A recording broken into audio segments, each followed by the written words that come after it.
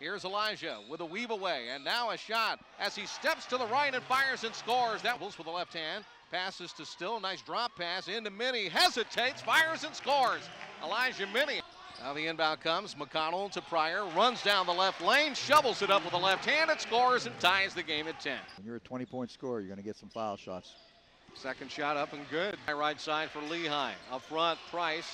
They stump it down low. Glover with the up and under reversal. Game tied at 12. Now a pull up from the right side wing. Isaiah Still nails a three, and he got the touch that time. Whitley dribbles once, picks it up, goes to Pryor, high left. Pryor with a head fake. Bounce pass over to the right side. Kavon Stewart launches a three-point shot and scores. It is Giles out front, giving off. Kavon Stewart, he'll go all the way under the rack. Dribble over the right side of the key. Now come down the middle of the key and put up a floater with a left-handed score. Making things happen. He's tough to cover. He's tough to guard. His problem is sometimes when he gets Stewart will inbound. Rodney Pryor checks back in, catches, shoots, scores, and gets dumped over in the right corner with no whistle. And Ross over to the left side to Chuku. He's got the green light outside, and that's why. Now, Rodney Pryor through the foul circle, over to the left side, catching, shooting a three. Isaiah Still drained it. Pryor gets the assist. out of bounds. 2.8 seconds left. Inbound pass, way out front. Three-point shot, deadly at the buzzer. Now Elijah Minnie ends up with a rebound. He's going to fade from the right corner deep and shoot a two.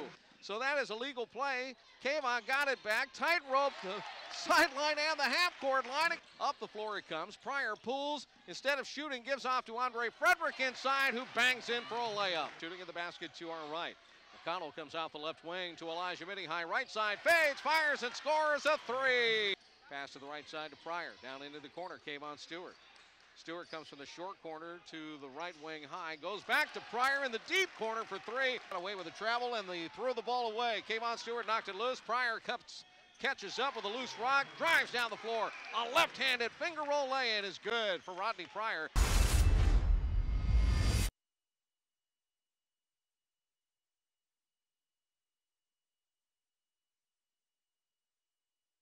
14 for Ross and 12 for Price for Lehigh. And now down the left lane with a little baby hook. Bank shot won't go, gets his own rebound, put back, yes, a. Re-dribble. And now Kavon Stewart underneath the rack out front. Matty McConnell for three. Knock